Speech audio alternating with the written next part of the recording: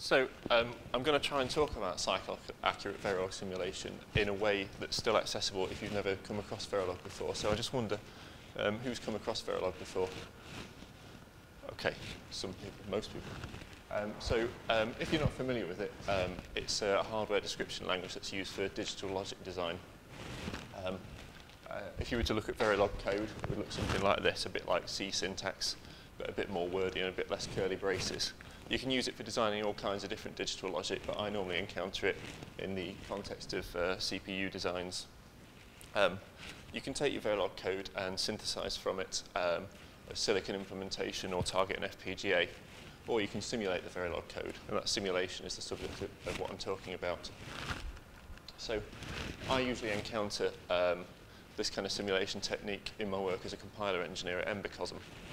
Um, so Embecosm customers are normally semiconductor manufacturers who are developing their own processor architectures and designs, and we provide them with an open source software tool chain. So that includes things like the compiler, the assembler, the linker, the debugger, and other binary utilities.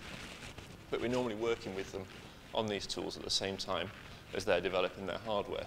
So it's very useful to be able to use simulation techniques for us to test the compiler and run the generated code on uh, a model of their actual hardware. And it also helps tease out some hardware bugs as well early on in the process. Um, so uh, the way I'm going to approach this is just to go over a quick outline of Verilog. If you've not come across Verilog before, it will be a quick primer or maybe a refresher if you're a bit familiar, have a bit of familiarity with it. Then I'll talk about different simulation approaches, in particular for CPUs, and we'll see where cycle-accurate modeling fits in with that. Um, then I'll talk about what Verilator is and how you would use it. Um, and then talk uh, a bit more about how you can use trace files and trace dumps to look inside what's going on in the model. There's also um, a workshop tomorrow um, on this subject, and I'll talk a bit more about that later. So, uh,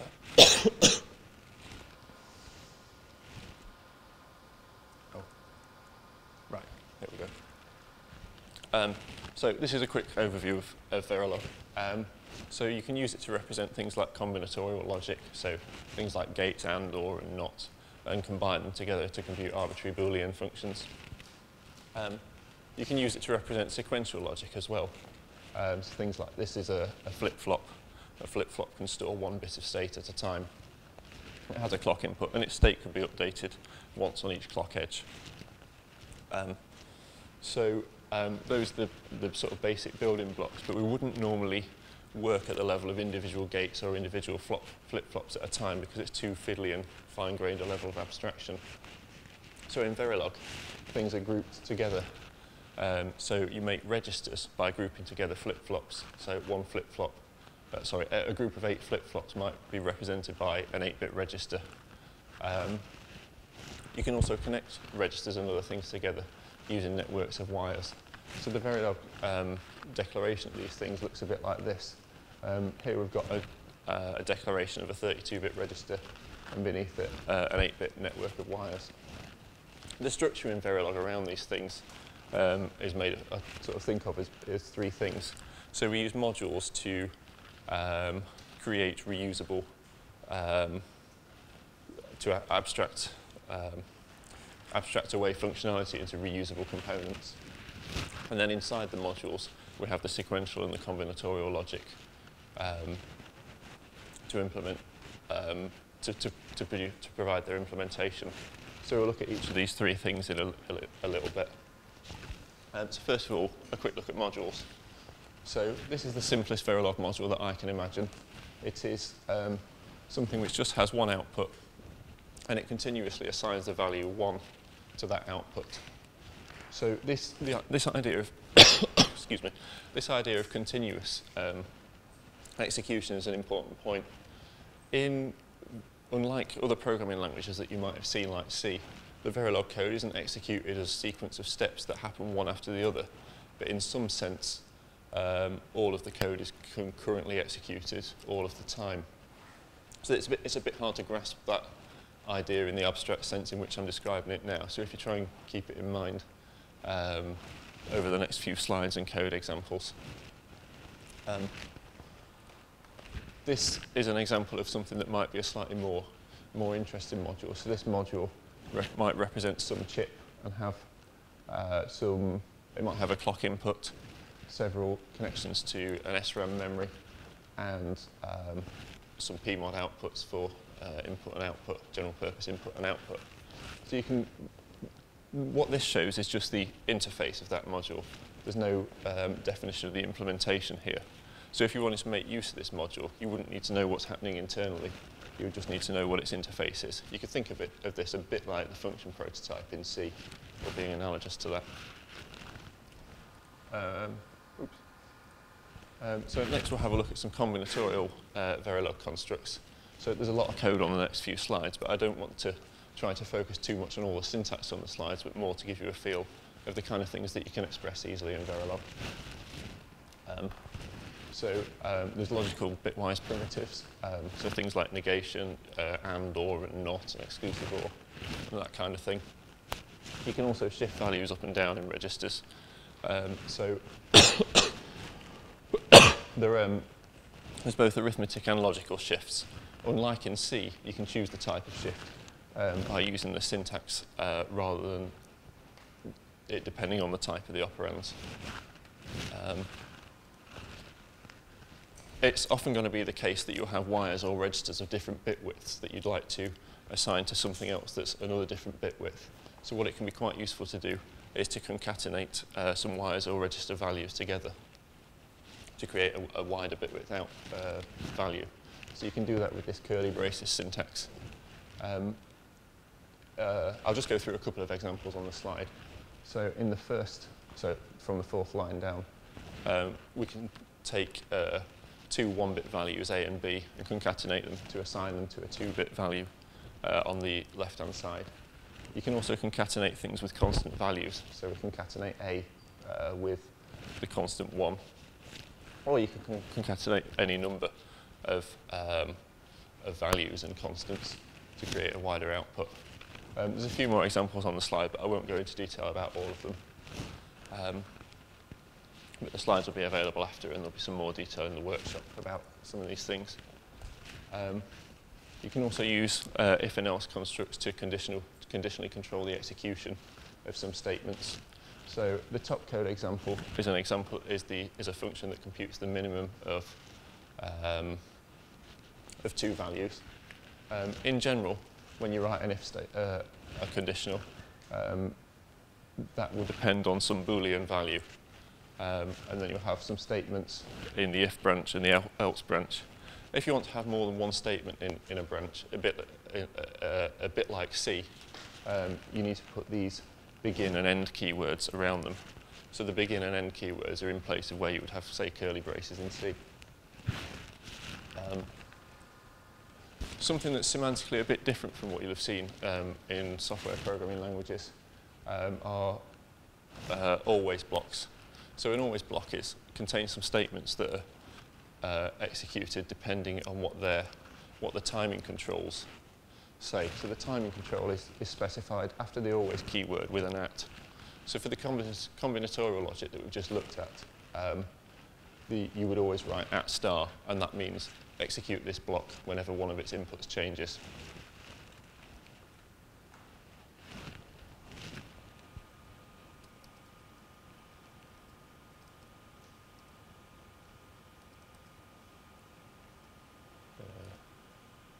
Right. Um.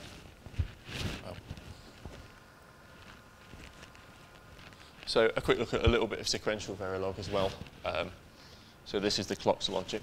Um, so you can have an always um, block for sequential logic as well. In this case, instead of the timing control, um, depending on all of the inputs to the block, this um, example is of a block that will be executed or triggered on the positive edge of a clock, you could, uh, or its input. You could also use the negative edge. Um, in this example, the, the register A is going to be assigned the, the, the value of B on the next clock edge. So when we write this, the syntax for, um, for, for, this, for this assignment in sequential logic is also a bit different to what we've used in combinatorial logic. So we'll have a little bit more of a look at that. Um, So these, these are called delayed or non-blocking assignments. When we write less than or equals, it causes the value on the right-hand side to be transferred to the variable on the left-hand side on the next clock edge. Whereas when we were writing the plain equals assignment um, with sequential logic, the value will be assigned immediately. Um, so it means that you can do some interesting things with registers. So in this code example, um, the values of B and A are, will be swapped on every clock cycle because the, on the, the values on the right hand uh, the values of B and A on the right hand side are both taken from the current clock cycle and then they're both assigned to A and B on the next clock, clock edge. Um, so that was a bit of a whirlwind tour of, Ver of Verilog. Um, so just to try and take stock of um, the things that we've just had a quick look at, it's a, a language for hardware description with a, a, a syntax like C, um, but semantically it's quite different to C with its concurrent sort of execution, things like always blocks and delayed assignments. Um, you use modules to um, uh, to, to, to create um, blocks of functionality that are reusable. And then inside the modules, their implementation uses combinatorial and sequential logic. Um, so I'm just going to talk now a little bit about the different approaches to simulating Verilog. Uh, okay, so um, the there's different approaches to uh, simulating CPUs in particular. So um, one thing you could do is to write an instruction set simulator, which would just be a piece of software that you would code up that implements your instruction set architecture. Um, the disadvantage of doing that is that it's not actually got any relationship to any Verilog code. It's just a simulator for the architecture. Um, so um, what you might do instead is use a tool to generate a cycle-accurate model of the Verilog code. Um, that model that you get out of it will be able to show you what's happening on each clock edge of the model. So um, it's a bit more of a powerful tool than an instruction set simulator for seeing what's going on with the Verilog. Um, or you could use an event-driven simulator, which is um, going to produce a more accurate simulation or realistic simulation in some sense, because it can also show how events occur within one clock cycle as well. Um, so it's the most accurate approach to, um, to simulation. Um, the reason you wouldn't necessarily always want to use that is that it's the slowest form of simulation as well. Um, the instruction set simulator is the fastest form, but um, it's got the disadvantage that it doesn't um, give you a sort of uh, a, a, a, timing model of or, or, connection with your Verilog code. So in between those two approaches is cycle accurate modeling, which is kind of a trade-off between accuracy and speed compared to the other two approaches. Um, so that's what Verilator does. Um, so Verilator is um, a tool that you can use to take your Verilog and it compiles it into a cycle accurate model written in C++ or SystemC. Um, so um, I'm just going to talk about C++ because I don't know anything about SystemC. Um, it's a free and open source project. Um, the Veripool project um, that it comes from is for free uh, and open source Verilog and SystemC tools. Um, it's quite widely used in, in industry and academia. So there's a, I had a look on Wikipedia. Um, there's big companies like NXP and ARM using it as well. And there's smaller companies like Embecosm making use of it too. Um, so this is the kind of flow if you're using Verilator to build a model of some Verilog code. Um, on the left, if you have um, some Verilog code, you would run Verilator on that, and then it will generate all your C++ model files. So um, although you have the model, it's not going to do anything by itself. So you need to write a test bench to drive it. So that test bench will instantiate the model and drive it forwards in time. Then you can compile and link your test bench and the generated model together. And, um, uh, and that will give you an executable simulator that you can run just like any other program. So um, I'm kind of going to work through an example of using Verilator to model one very simple um, Verilog module, which is a counter. So this counter um, is, is, a module that takes a clock signal as input, and then it counts on each clock cycle. Every n clock cycles, it's going to increment the value of an external counter. Um, it's got a couple of other signals as well that um, I'm just not going to worry about for the purpose of the example. So the first thing you need to do to model it uh, is um, you write a top module in which you can instantiate the module that you, you're interested in. So um, the inputs and outputs of your top module are things that are going to be exposed to the C++ test bench that it will be able to interact with. So what I've done here is created four inputs and outputs that will be able to be seen from C++. Inside the module, the, uh, uh, the counter is instantiated, and then the um, inputs and outputs of the counter are hooked up to the inputs and outputs of the top module. So in this example, this is just a trivial wrapper around the counter. But for something more realistic, you might have several different modules that you'll be instantiating and connecting some of their inputs and outputs together. And you would only expose a subset of all those signals to the test bench. Um, once you've written the top module, um, you need to uh, you need to verilate uh, the Verilog code. So I normally sort this all out with a makefile, uh, rather than go into the details of exactly what's in a makefile. These are just the relevant invocations from it. So you would call Verilator. It needs to know what all your Verilog source files are. Um, you tell it what the top module is and that you want to generate C++ code, and that's enough for it to run. When it does run, it will generate a folder, usually called obj_dir, that contains all of its generated output. Um, so that's ready to compile. Um, inside there, um, you get a make file as well for building the model that it's produced. Um, so you need to call make with that make file. Uh, and then um, usually there's, three, there's a few different targets that you would want to build.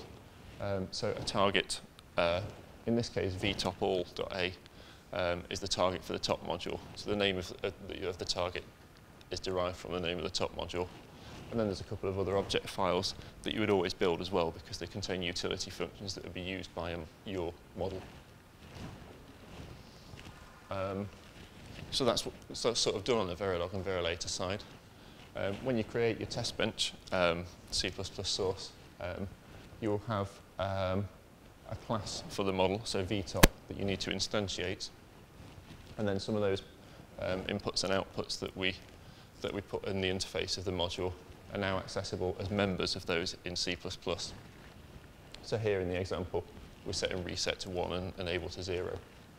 Um, if you want to, once you've instantiated the model, you probably want to actually drive it forward in time so that it will do something. Um, so I normally wrap this in a function for clocking the model. So as a clock is just a signal that alternates between a high and a low state, the clock model function is going to alternately set, set that, the clock pin to 0 and 1 every time it changes the value of the clock pin, uh, you, you, need to call the eval um, method of the model, and that propagates all the state um, updates inside the model. Um,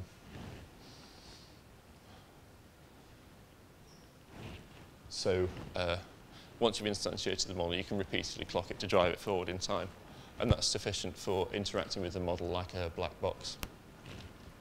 Um, probably what you're going to want to do as well from the test bench is access the internal state to see what it is or maybe modify it. So you can do those with tasks and functions. So we'll have a quick look at an example of one each of these. But before we do that, um, a bit about the internal implementation of the counter. So the counter has a register inside it called internal count. Every time the clock ticks, um, if that internal count is about to roll over, then we increment the external count Otherwise, just the internal count's incremented. So this internal count's always going on, but you can't see it. Um, so let's write a function and a task to access that internal count. Um, so we can declare a function to access it uh, using the function keyword. After the function keyword, you're declaring the bit width of, the, um, of what the function returns, uh, then its name. So we call this read internal counter. If you want Verilator to expose this to the C++ test bench, then you need to uh, put Verilator public in a comment as well, so it knows to do that. Whatever you assign back to the, value, to the name of the function is what's returned back into C++. So here we'll just assign internal count back to um, read internal counter. So if we rebuild the model uh, ver with Verilator and then recompile it, then from the test bench, we can access that function now. So the model object that you have in C++ has got a sort of object-oriented structure that mirrors the structure of the Verilog. Um, so um, starting from the model object, um, we have to go through, through the top module, the counter we've instantiated, and then it's there that we can find that function that we just um, uh, uh, that, we, that we've just added. Um, can I just check how I'm doing for time? Five minutes, okay. Um, so you if you wanted to write back the state with a task, um, then, uh, well, sorry, if you wanted to write back or modify the state, then you can use a task to do that. So we're here we declare a task with the task keyword. Um, again, it's got to be told Verilator public so that it knows to be exposed to the test bench. Um, that's going to take an input that's declared, that's going to be the new value of the counter. And then inside the body of the task, we'll just assign that the internal count that's passed in to the internal counter. If we re rebuild the model again, then from the test bench, we can access the task, call the task in a similar way to calling the function through the top module and the counter, passing it the value that we want to um, assign to the internal counter. Then once we've done that, straight away afterwards, we need to call the eval method of the model again to actually get the model to update that state that we've just changed with the task. There is a little bit of subtlety about using a task in this way that I'm kind of glossing over because it's um, a bit, because uh, um, I'm a little bit short on time, but um, there's a little bit more about it that I was going to put in the workshop for tomorrow, of the, of the details of that.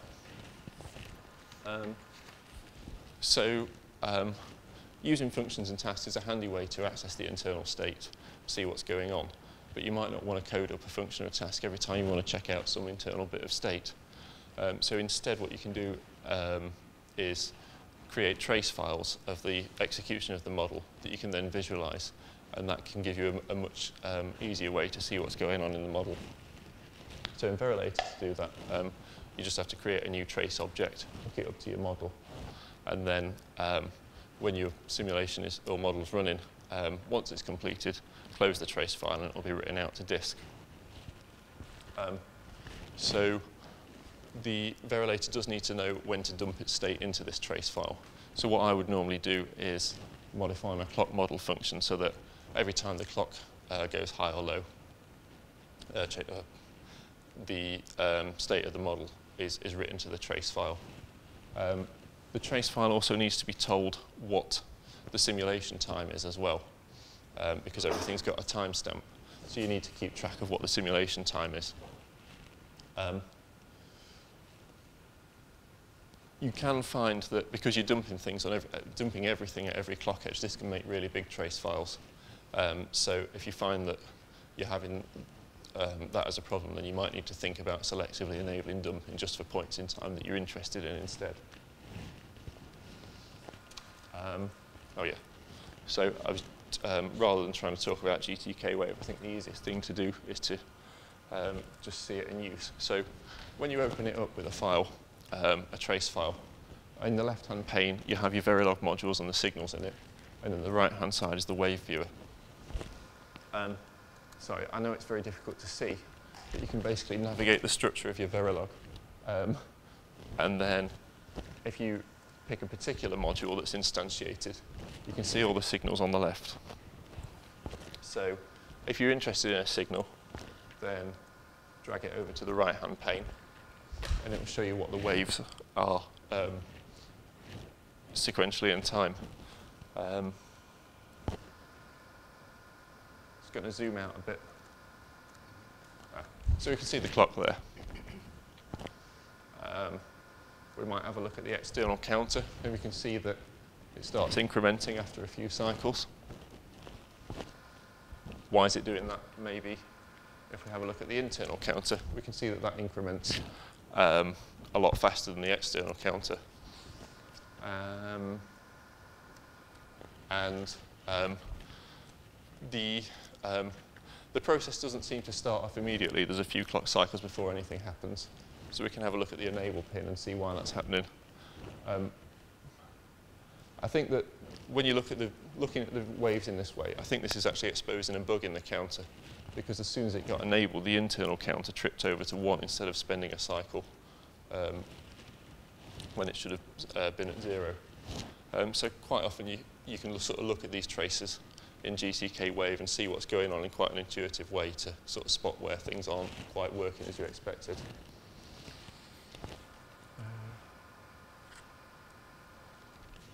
Okay, um, so that's sort of the end of the quick Verilator tutorial. Um, we've um, used Verilator to build the software model and then drive it with a C++ test bench. Um, then to access and work with the internal state, we've added functions and tasks. Um, and um, to view the entire the state of the model and visualize it, we've used GTKWave to look at the change dumps in the trace file.